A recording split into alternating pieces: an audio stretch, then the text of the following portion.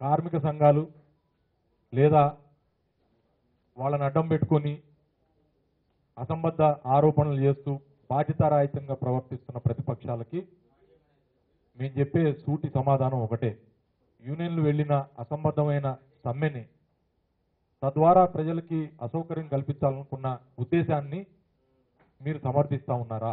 ఏ Congress party కానీ BJP party కానీ లేదా లెఫ్ట్ పార్టీస్ కానీ వారు గతంలో పరిపాలించిన రాష్ట్రాల్లో కానీ లేదా పరిపాలిస్తున్న ప్రస్తుతం పరిపాలిస్తున్న రాష్ట్రాల్లో కానీ మీ ప్రభుత్వాలు అక్కడ ఆర్టీసీలని ప్రభుత్వంలో విలీనం చేసినాయని నేను అడుగుతా ఉన్నా.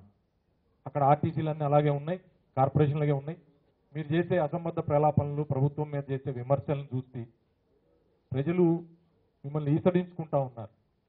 ఇదే రకంగా గతంలో కూడా అసంబద్ధమైన ఆరోపణలు గత ఐదు సంవత్సరాలు చేస్తే ప్రజలు మీకు ఏ రకమైన బుద్ధి చెప్పారనేది రెండు వేల పద్దెనిమిది ఎన్నికల్లో తెలిసింది.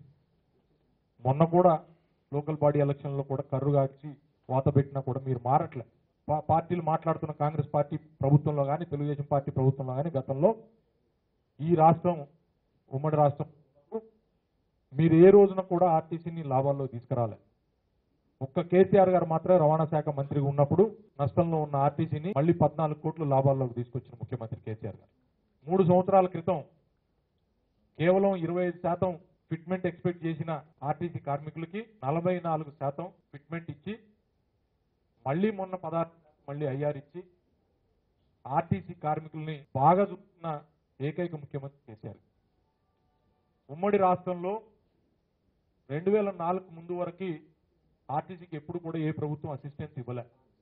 కానీ రెండు వేల నాలుగు నుంచి రెండు వేల పద్నాలుగు వరకు ప్రభుత్వం నుంచి ఆర్టీసీకి లభించిన అసిస్టెన్స్ పదహారు వందల కోట్ల రూపాయలు అయితే తెలంగాణ రాష్ట్రం వచ్చిన తర్వాత ప్రభుత్వం నుంచి బడ్జెట్లో పెట్టి ఆర్టీసీకి ఇచ్చిన నిధులు మూడు వేల మూడు వందల మూడు కోట్ల రూపాయలు.